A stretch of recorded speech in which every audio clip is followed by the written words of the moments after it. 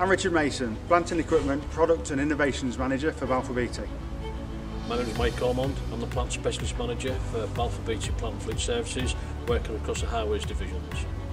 We're here today demonstrating the Safety Shield Global Artificial Intelligence Collision Avoidance System and it's fitted to this Wacker Neuson dual view dumper. In this next demonstration, you will see the dual view dumper driving towards a pedestrian on the network. This simulation shows the dumper will come within 3 metres of the person. If the driver doesn't hear the alarm system for whatever reason, you will then see the braking system automatically engage and stop before it hits the person or potentially an object in the, in the scenario.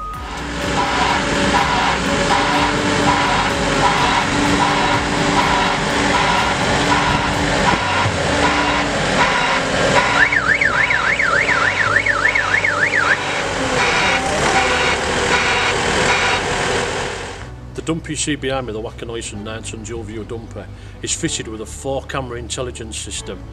This is particularly pertinent on the highways businesses when we're working very close to area guards or we have people in the verges in tight scenarios.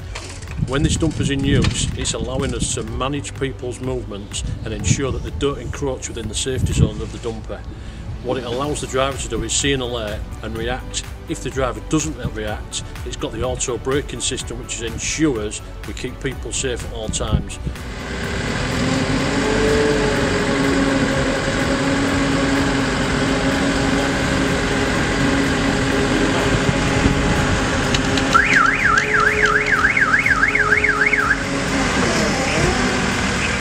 The system has intelligent people detection capabilities uh, and can be adjusted to suit the different site environments.